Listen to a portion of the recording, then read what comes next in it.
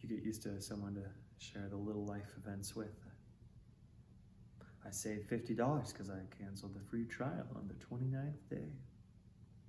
Those day to day victories that are fun to share but not worth a phone call. Then it's only you with half as many victories.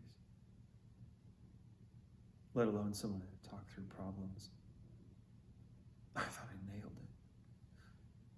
I had this perverse logic that her leaving would eventually bring us closer, give her time to think.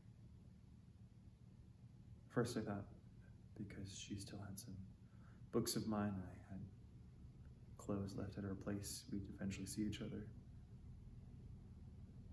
Then I thought we'd bump into each other.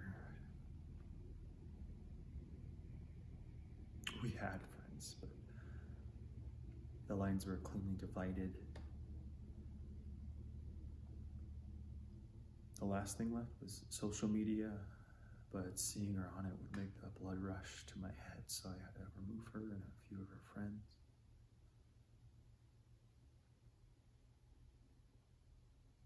Then she was really gone.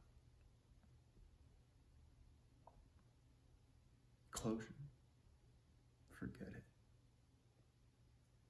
But you can't forget it. So you sort of live with it.